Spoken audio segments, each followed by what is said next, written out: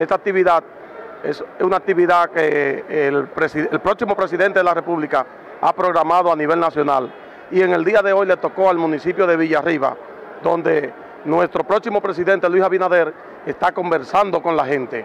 Hemos convocado aquí a, todos los sectores vivos de la, de la sociedad de aquí de Villarriba para que conversen con el próximo presidente de la República, Luis Abinader, y ese es el motivo por el cual hoy estamos reunidos aquí en el multiuso de Villarriba.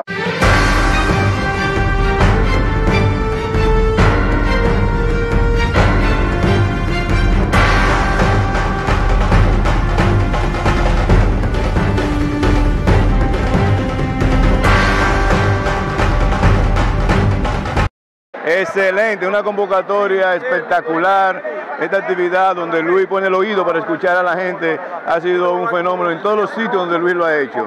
La gente está respondiendo, le están preguntando a Luis y están saliendo satisfechos con lo que Luis está prometiendo, con lo que Luis puede hacer, porque dice cómo lo va a hacer y de dónde lo va a hacer, y eso es lo más importante. Este ha sido un evento que marca el principio de lo que es la victoria de esta precandidatura de nuestro candidato Luis Abinader, por la propuesta que tiene para enmendar todo el desastre que ha hecho el Partido de la Liberación Dominicana en nuestro país por más de 20 años en el gobierno. Villarriba y la República Dominicana va a cambiar. Nosotros vamos aquí en Villarriba a apoyar a los productores, especialmente al sector arrocero y a todos los productores agrícolas. vamos a hacer la transformación que necesita el sector ganadero para hacerlo mucho más eficiente y para que pueda producir también toda la leche que, se consume en nuestro país. Nosotros vamos a ser el presidente de la producción nacional para crear los empleos en estos lugares, en estas zonas, para que dejar que no, no dejar y continuar que se vayan los habitantes de las zonas rurales hacia las grandes ciudades, porque no hay oportunidades de trabajo en nuestro país. Eso nosotros hemos dicho que estamos en contra de el intento de solamente de hacerlo y que sería gravísimo para el país.